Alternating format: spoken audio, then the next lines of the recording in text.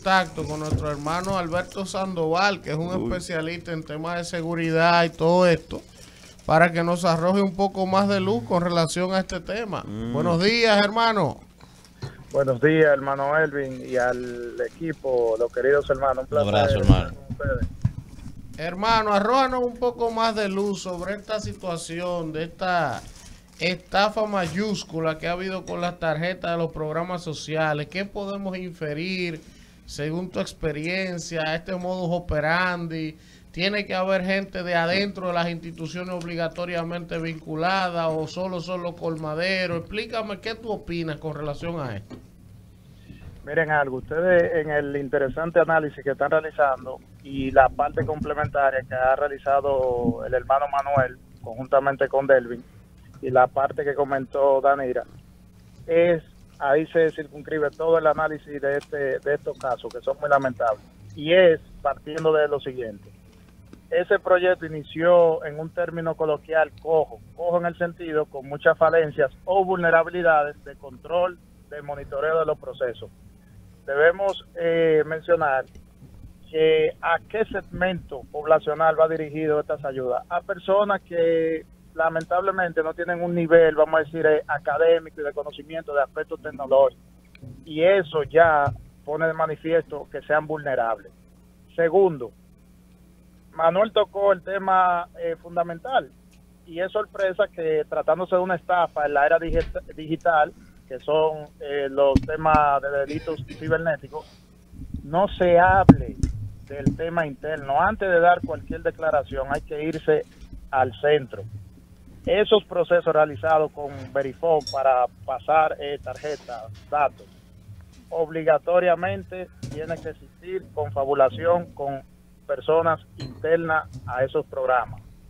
Y ojo, es fácil, todo delito o toda actividad realizada a través de medios eh, tecnológicos se puede rastrear, desde el dinero, los procesos, y se pudiese determinar que en esas eh, localidades donde colmados están señalados, indicados, donde se realizaron las, entre comillas, las estafas, hay que ver, porque la base de datos se copian, y bien decía Manuel, que con eso complementó el interesante debate que ustedes están realizando, existen herramientas tecnológicas para confundir, dislocar y marcar, eh, vamos a decir, coordenada que se realizó un proceso por el cual no fue realizado en esa demarcación.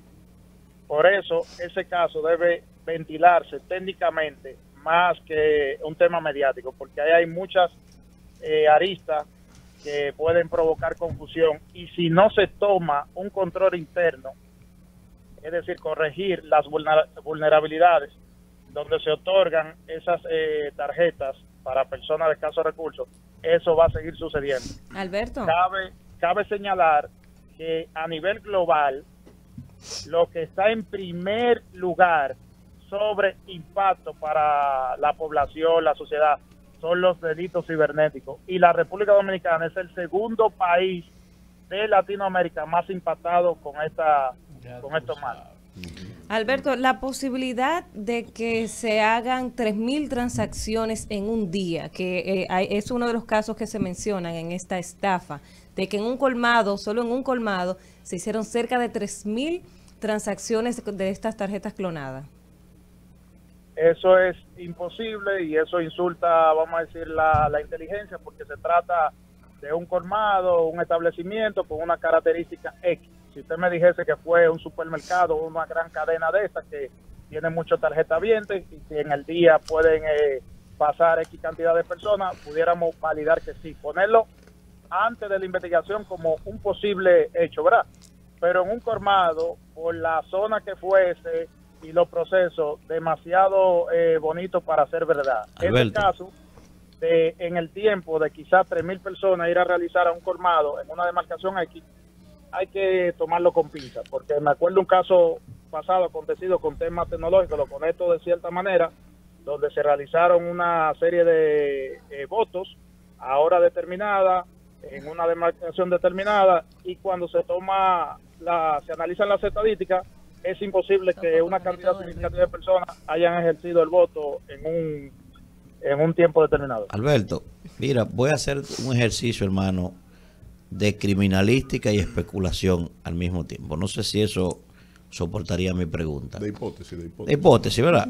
Uno viendo lo que ha estado pasando, Danira señalaba un dato que no ha salido a relucir en la opinión pública, que estas transacciones fueron entre 10 de la noche y 6 de la mañana, o sea que eso fue de madrugada que se hizo todo eso, cuando uno sabe que los colmados están cerrados a esa hora.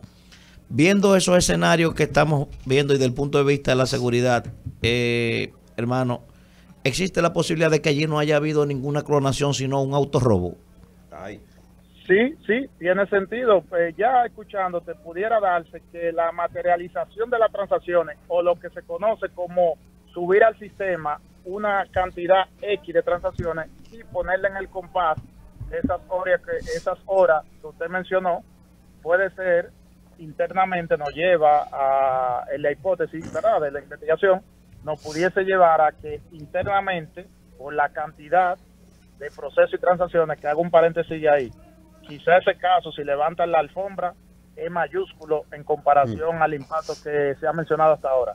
Eh. Porque parece que es algo muy muy interno y muy bien eh, manejado. Una cosa como con, como con un clic de madrugada. Un- Exactamente. Un clic o dale a enter ahí. Y ya. Ahora, Sí, al- o para o para ponerla a esa hora para tratar, tú sabes que al otro día, entonces como que pasen eh, así sin... Ah, Ahora, Alberto, el ciberdelito es, es- es un hecho. Y obviamente que lo que le ahorra al cometedor del hecho es el revólver o la pistolita. Pero eh, es un robo a mano armada tal y cual. Ahora bien, la- lo maravilloso de esto es que deja un rastro. ¿Dónde está ese dinero? Porque en algún lugar ese dinero se hizo líquido. Yo dudo que un colmado tenga 14 millones de pesos en efectivo ahí para, hacerse- para, para, para, tra- para dárselo a quien estaba pasando 3.000 tarjetas. Pero vamos a ver, ¿dónde está el dinero? ¿Quién se ve- ¿Dónde llegó el dinero? ¿O vía cuál mecanismo se hizo líquido ese dinero? Sí, eh, para responder, eh, estimado hermano, esa es la última parte. En un proceso de investigación de delitos eh, cibernéticos, esa es la última parte. Eso es lo que cierra el caso de investigación. ¿Por qué? Porque el dinero eh, obligatoriamente tiene que salir de una entidad financiera. Entonces, ahí ya cuando el proceso se conoce, se detalla cómo fue eh, ejecutado, se determina y se ya con el apoyo de organismos de, seguridad, ¿verdad? Se procede a, a sistemas de vigilancia, etcétera. Pero el dinero en cuestión, recuerda que las transacciones electrónicas son códigos. Y ya cuando sale una transacción, por ejemplo, todo eso que realizaron en el colmado no es un movimiento de dinero. El, el colmado da el servicio y ya en una cuenta, entonces se le transacciona los montos que fue que ellos eh, dispusieron.